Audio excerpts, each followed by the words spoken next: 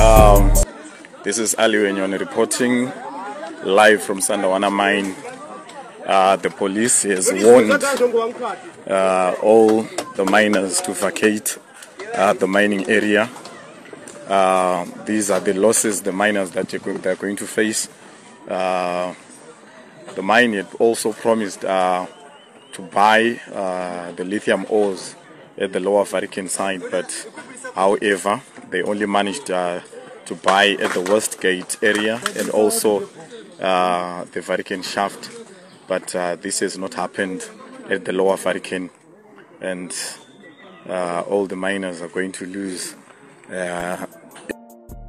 TV. Today is the 5th of uh, January uh, 2022. Remember, guys, to like, share, comment, and follow, and uh, turn on the notification bell so that you won't miss any of our new uploads that we do upload here. And uh, so, guys, the Zimbabwean government uh, is reportedly evicted uh, artisanal and small scale miners who had uh, stationed themselves at uh, Sandawana mine in Mberengwa following a mineral rush in the area.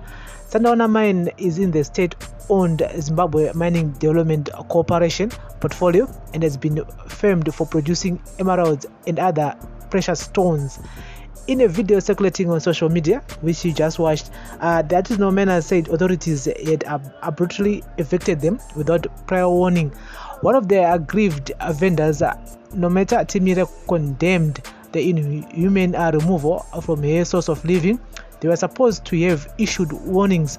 We are suffering and we are all trying to make ends meet. Timire said they've chased us from this place yet when we decided to go to South Africa for peace jobs. They tell us to come back and, and vote and help fix our country and then they treat us this way. She added, Timire bemoaned the deplorable state of affairs in the country, adding that their eviction has worsened their endeavor to prepare for back to school. Schools are, all, are opening soon, and we are in the midst of trying to raise money for uniforms, fees, and books. Yet we came here to vent, and we are told to go back home and sit. How then are we supposed to feed our children? What are we then supposed to eat? queried Timire. In the said video, Timire is seen packing her belongings along with an array of stock that she had purchased for her resale at, at a uh, makeshift vending store. Some of the disgruntled youth could be heard uh, requesting the camera person to capture them. We are not happy with this untimely eviction. We are happy that the president had allowed us to mine and make a living. He said, We have been forced to live without anything. We had used the little money we had to kickstart our small mining projects, and now everything has been taken and we are being chased away. In November, thousands of miners attended as the Zimbabwe Minerals Federation launched launched hashtag miners for ED Midlands chapter at chigechuru. And so ndopanoona kuti mafederation nema you know, you know, nemalaunch maproject anolaunchwa like miners for ed iri kupi? Vanhu vari kudzingwa manje pathis mine. Vari kupi ko uh, miners for ed kuti vamiririre mayouth aya ari kudzingwa aya? And some of these uh, you know some of these federations neamwe maprojects aya anenge achingolaunchwa achingolaunchwa but kana vanhu vapa ma1 hamumbovaona vachimira miriwo nemaminers inyaya yelithium yanetsa. Zvangofanana nezvakaitika uh, kwamutare kumarange kumadiamonds aya kuti takazoona mavillagers vakubviswa vanhu vakudzingwa the next thing takazoona masoja akutopinda munzvimbo akutoisa mafenzi akuita sei zvikunzi vanhu vari kudyiwa nembwa akuita sei akuita sei. I mean there are so many horror stories uh, akaitika kwamutare because of nyaya dzemadiamonds. So someone wrote uh, on facebook yes uh, saying kuti ndizvo here kuti vanhu vari kumhanya kusandawana mwana wamunangagwa auya nepolisi achiti makomba angu elithium. Andika yes mwakuti e, ndezvechokwadi here sekuru mwakuti lithium yanetsa vakadodzingwa neblack boots. Uh, son of nangagwa is very, is very correctly kungoti vanhu vavhurike so vagoziva chokwadi chizere. Mberengwa sandawana do not complain ndizvozvo chaizvo zvamuri kutoona is true live yemahara. Just open your eyes and see. Andika uh, mumwe ari kuti um, dai vaitoita wekutoshuta nepfuti kuti mupungwa emberengwa azive pekuvhotera because akavata. Mwari kuti everything now belongs to the mnangagwa kusvika mapepuka vanhu vekwedu. And mwari ngoti uh, lying uh, tiriko izvozvi muri kuitei yenyu uh, mwari kuti lithium iyi ichata tiwane vabereki vatamiswa mumisha. And uh, mwari kuti sepako pamba paye inofanira iripo especially matombo emumunda aya. Uh, mwari kuti ngavambomira izvozvo vanhu vawane kurarama. And mwari kuti um, vanga vakachera iri kutotorwa mahara hanzi ndeye sandawana nembavha dzenyu dzamusingade kuti dzifumurwe. Andika yes vanhu vanga vatochera kudhara lithium iyi vanga vatoibuditsa kudhara vakutoona kuti vakwanisa kuita sei nayo but mapurisa azongosvika chingoti aiwa siyai izvozvo zviripo munhu wese ngaabve aende. So guys uh, this is a very emotional uh, video is a very sad video.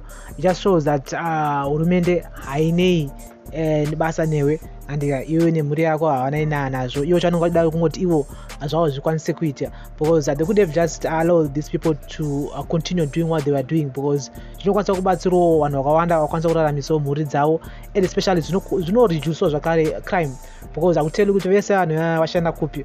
Vachadzokera kwavabva futi vonoitei saka hurumende yedu vanenge vachiuya pamberi pedu vachitiudza kuti they are here for us they are here to take care of us they are here kuti vanzwe hanzi am a listening president. But uh, this is a state owned uh, mine. Yanega is owned by zimbabwe mining development corporation. Saka poto nemwe mbinga oro apolitician or mapoliticians vari behind this. Vakatongomira kuti vanhu vadzingwe vosara vachisama mafenzi vachisama mapurisa nemasoja nepfuti kuti ivo vakwanise kuona lithium iyi yanetsa iyi andika saka inyaya yekutoti uh, iri very very uh, serious that we need to talk about here on this channel. Remember to like share comment and follow. Yes vanhu vari kutsvayawo kurarama vari kuzamawo kurarama. Hapana chakamboipa kuti uh, vachere iyo lithium yacho votengesera hurumende woonawo mari. And still you know, inozongodzoka kuhurumende still. Hurumende ndo inozongoona kuti whats next with lithium eh, kana vatengesa lithium kwavari. Saka that's how you create employment. But at the end of the day i feel like there are people who want it all for themselves. This is something not new. This has been happening for decades and decades. I've seen it happening before and it's still happening today and it will continue happening of politicians who are greedy. Dai vangosiya vanhu vangochera lithium yacho is vanhu vongonzi kana machera toya tichitora isusu tokupewo mari apa naapa. I mean that would be the best way but zvisinei theyare saying this mine belongs uh, to state owned uh, zimbabwe mining development corporation. Uh, so we're gonna be keeping you guys up to date here on our audio thoughts with prince on prince miller entertainment tv remember guys to like share comment and follow and turn on the notification bell so that you won't miss any of our new uploads that we do upload here. We'll be back with more information but as for now you can see it on the video kutoti hapana munhu akatakura anything. Vese as soon as possible because mapurisa vanga vatosvika ipapo vatoti aiwa mukuchera zvisiri pamutemo. This mine belongs to the government. Pakaipa inyaya yelithium yanetsa ndo nyaya yanetsa. This is the new gold and lithium is on demand. Zvekutoti kunenge kwangonongonzi kune lithium uku. Kana pari pamusha riri gomo wherever hurumende inenge ichitongoya votongesa fence motongonzi bvai nechisimba bye, guys. This is the audio thoughts with prince. Thank you for listening and watching. Remember to like share comment and follow. Bless up